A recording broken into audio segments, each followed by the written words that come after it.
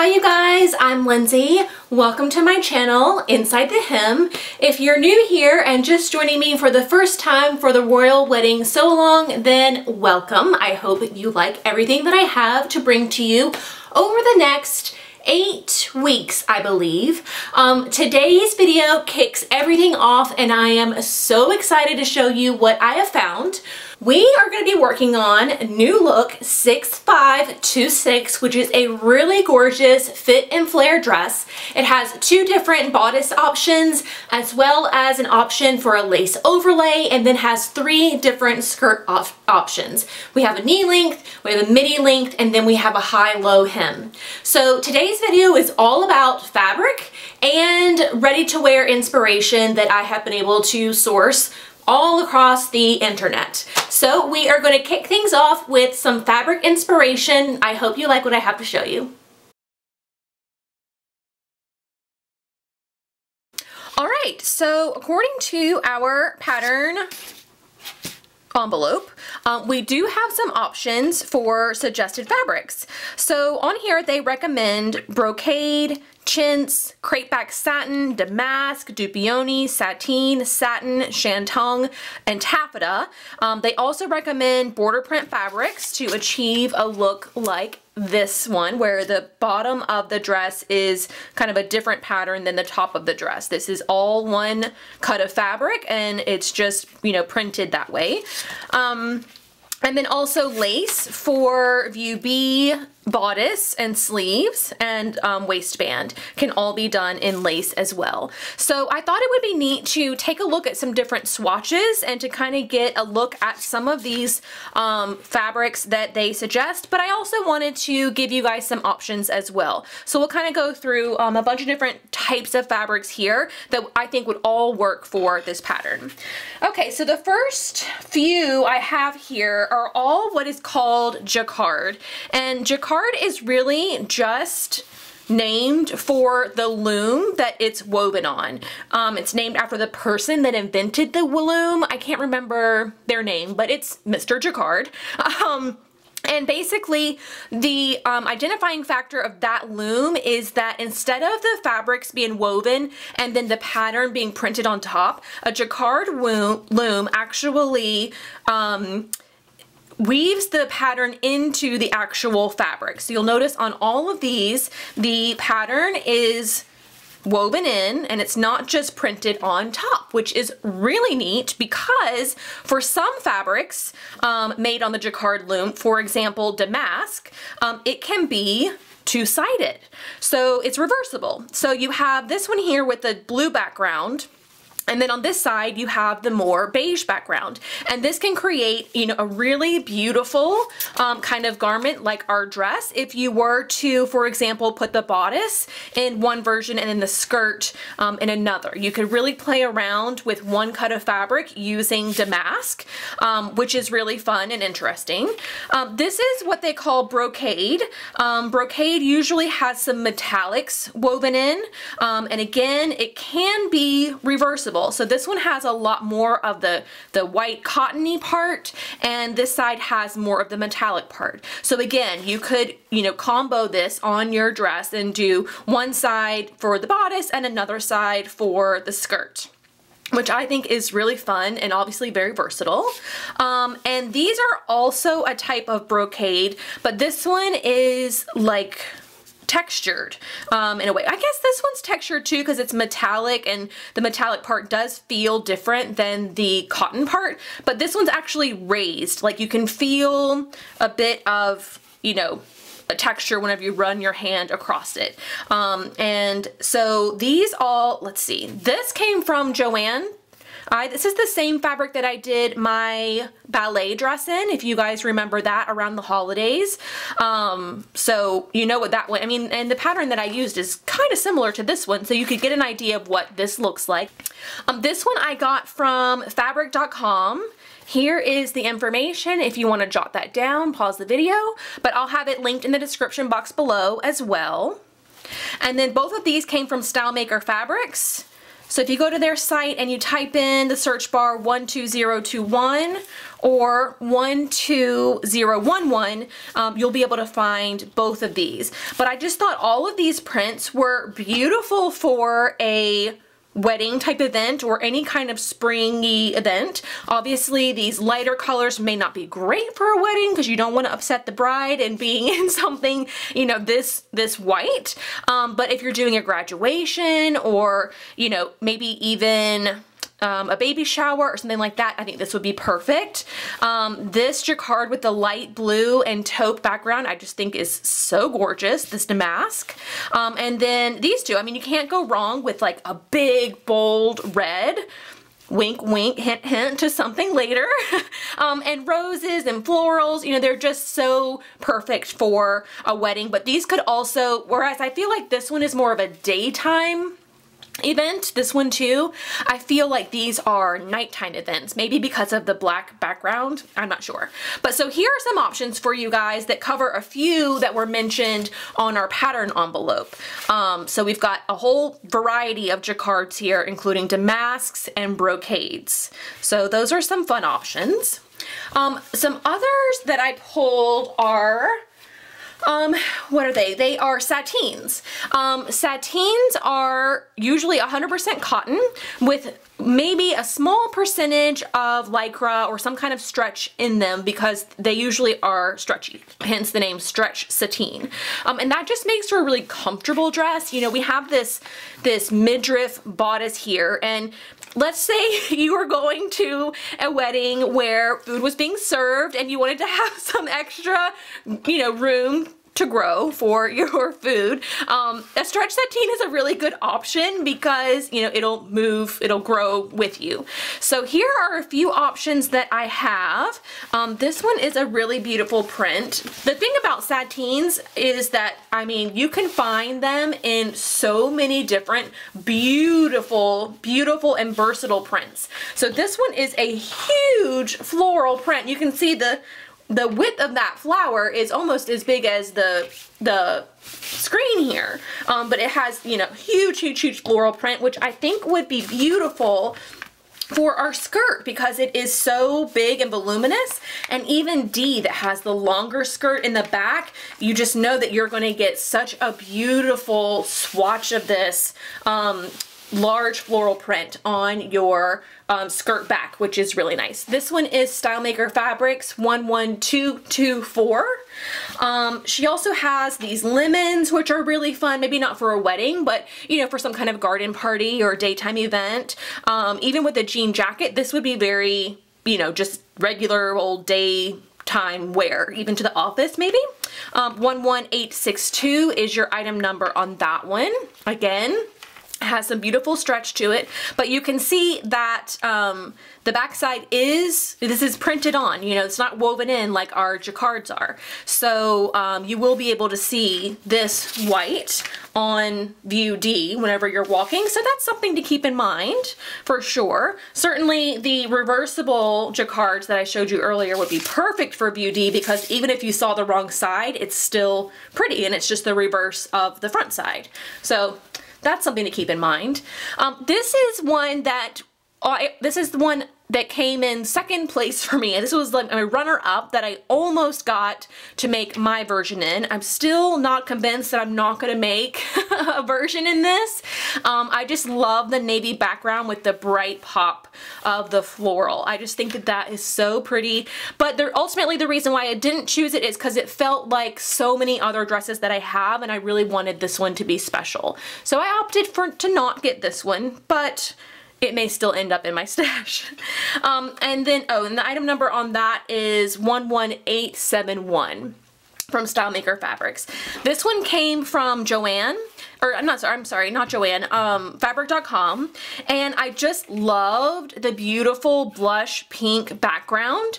Um, in a lot of the inspiration photos and images that I found, um, this pretty blush pink color, being as it was last year's Pantone color of the year, um, there's just a lot of ready to wear in this color. And so I thought it would be neat to draw some inspiration from that. But it has like these very large cranes on it, so it's kind of got like a bit of an Asian vibe vibe going, um, which maybe your thing, who knows? Um, but I just thought this one was really, really beautiful. Again, stretch sateen. Um, and all of these, let me give you the item number. Here's the information on that. If you want to grab a screenshot, go ahead. Otherwise, it'll be linked in the description box. But all of these, I'm not sure how much is gonna, yeah, have a subtle little shine to it, which is really nice for, you know, when you're outdoors um, and you're doing an event outside, you know, the sun is definitely going to pick up on all of that sheen, which is really, really beautiful. This one has a lot less than the pink does. Um, this one also isn't super shiny, but you can still see the light catching it ever so slightly. Um, maybe the darker colors, it just blends in more, but there is some, some sheen there. And if you remember me talking about my, um, that navy and cream striped dress that I made that I loved working with so much, that was cotton stretch sateen. So this is gonna be very beginner friendly fabrics to sew with. It's gonna be easy to press, you know, easy to make these, you know, gorgeous pleats in. Everything is gonna hold its shape really well for like the bodice like this. So I just thought that sateen was a, a really good option as well. Um, another one that the pattern um, suggests is crepe back satin. And crepe back satin is exactly what it sounds like. It is two fabrics kind of molded together. One is satin and one is crepe.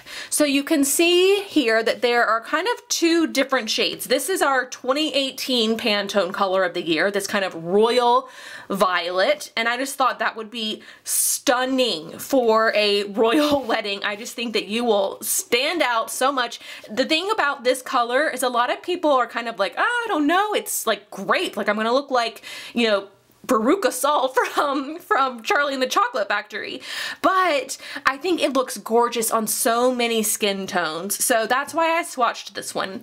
And again, similar to our um, damask and, and the first brocade I show you, it's reversible. So you could have a little bit of fun doing um, maybe the bodice and the skirt in the crepe and then the, um, the midriff and the um, belt in the satin. I think that that would be really nice or you could do the entire bodice in the satin and the skirt and the crepe or vice versa. You know, you could have a lot of fun you know, mixing things up um, with the different, using both sides of this. And again, like I pointed out before with View D, um, the, the um, wrong side of the fabric is going to show. So it will be nice to have, you know, one of the other still be beautiful whenever you're walking or the wind catches you or whatever. Um, it'll still look really, really nice.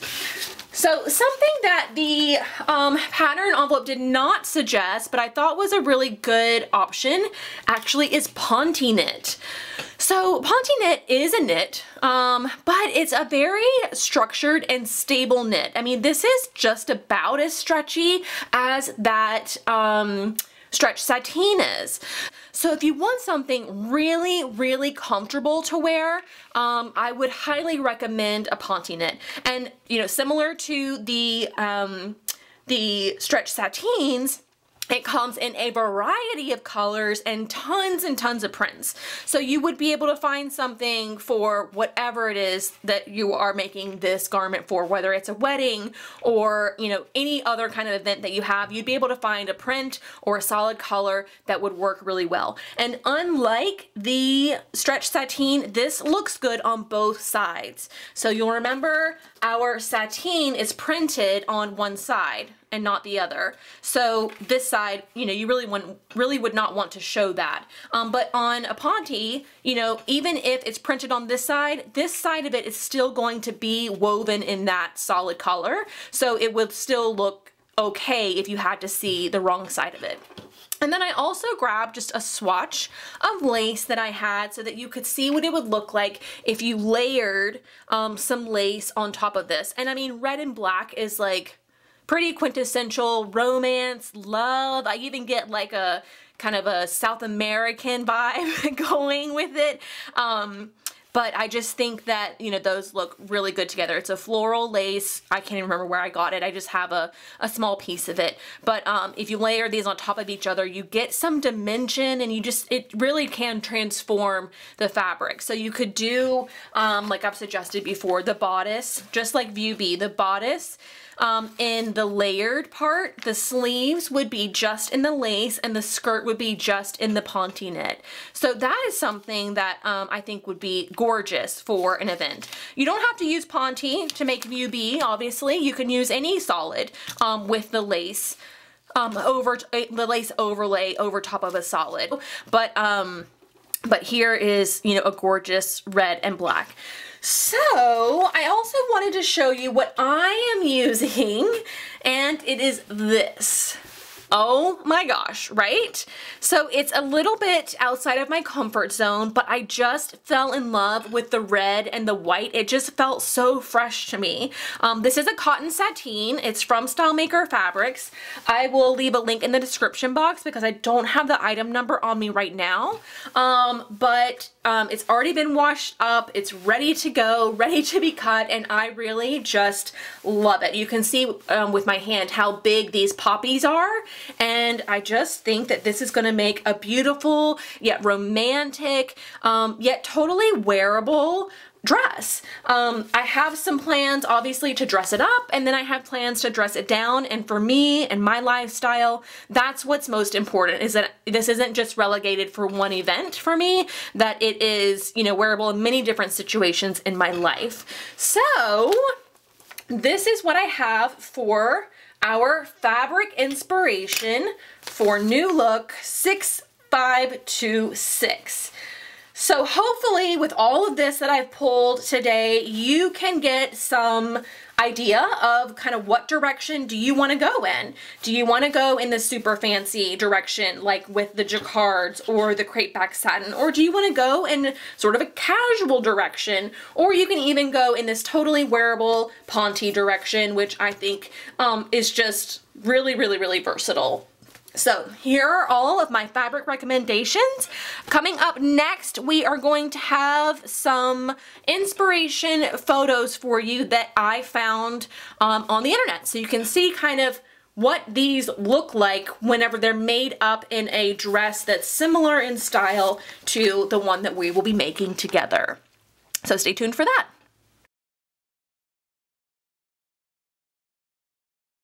So first up is our jacquard inspiration. Here are four images that I found. Um, just so you know, all of these inspiration images are posted on my Pinterest page under the board um, for the Royal Wedding Sew Along. So you can find them all there if you want some more information about them. But I included the one on the far left because it felt like the most like our style lines of the dress that we would be making. And I loved how they did the ribbon in a contrasting fabric. I thought that that looked really, really nice. Um, the second one reminded me a lot of that damask that I showed you in the fabric portion of this video. So you can get an idea of, you know, just how special and unique damask looks whenever it's sewn up into a fit and flare dress.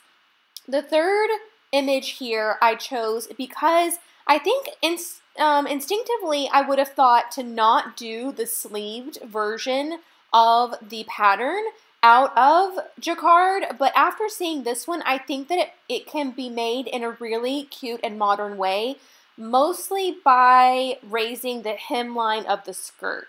So I feel like if you're going to do a longer sleeve in the jacquard, then you need to have a shorter skirt to kind of balance out the absence of skin showing.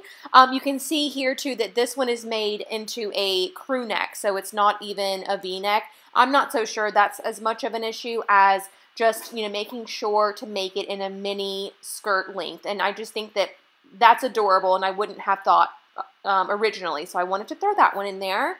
And then the fourth one looks almost exactly like that brocade that I showed you, the version that had the black and red one and then the gray and black one, it looks just like that. I would be surprised if they weren't the same fabric, right? Um, so I just thought that that one looked really elegant and beautiful as well. I love the gray and black version in a dress more so than I did in just the swatch. So I wanted to include that here so you could see what that looked like sewn up. But in general, the things that you're looking for um, if you're going to sew a jacquard dress is really the, the shine of it, the crispness of it, and then the fullness that you're going to get in your skirt. I don't think any of our other fabrics are going to provide as much structure and fullness as the jacquards will. So if that's what you're looking for, then go find a, a jacquard that you love. Okay, next up we have our cotton sateen inspiration. And I pulled these four pictures because I just wanted to show how completely versatile cotton sateen prints and solids were. Um, I wanted to show just how you could use the pattern of the fabric um, to your favor and even create your own pattern. So that's what I that's why I chose the first one because those white stripes are very easy to hack into your skirt pattern pieces to kind of create your own striped pattern. And sateen is really great to use for this because it is so easy to sew with and so easy to press. You're going to get beautiful crisp um, seam lines which make that really beautiful. The second one I wanted to show because A, that fabric is gorgeous, but also because you can see in the skirt how they decided to inset a piece of mesh. And that is very, very on trend right now. Um, and so I wanted to show you how you could make it work for a wedding type event as well, where it's not too much, but just enough um, and provides a little bit more visual interest for an all over printed dress. Uh, the third one I chose because they were able to get a bit of a fuller skirt in this one, and I would not be surprised to find out that they had some kind of crinoline um, underneath to kind of um, help the dress billow out a little bit. But you can see from the other versions just how the sateen likes to lay closer to the body than the um, jacquard does that we saw in the previous collage.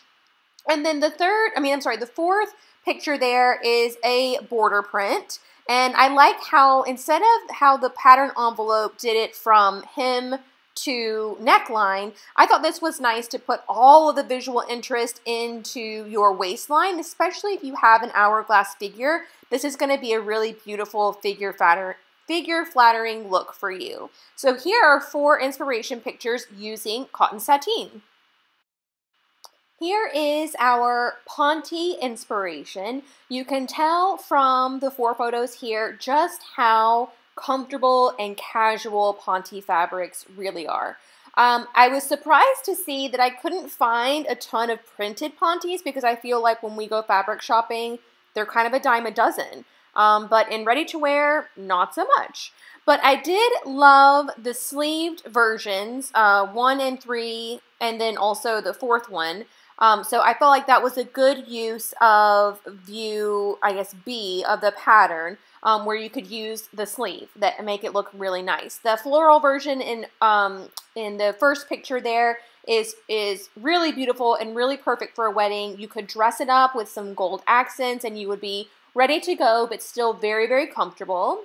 The second version, the second picture there, I chose because I liked how they added the little bow embellishment to the neckline and the collar detail. Bows are like all the rage right now. Um, you're seeing it on all the runways and even in the Oscars that were on on Sunday. Um, you just see bows everywhere. So I thought that was a really cute detail. Um, and then I chose the very last picture, the fourth one, because it just was so versatile. I mean, that's just the perfect little black dress. Some people say black dresses are bad luck to wear to a wedding, so maybe you want to keep that in mind. I've never heard that before, but then again, I don't attend a lot of fancy weddings, so maybe that's why. But I just love a simple, chic little black dress and think everyone um, deserves to have that in their wardrobe. And here are our gorgeous lace inspiration dresses. Aren't they all just so beautiful and perfect for a royal wedding? Um, I had a hard time, again, finding dresses, inspiration dresses, where only the bodice was done in lace.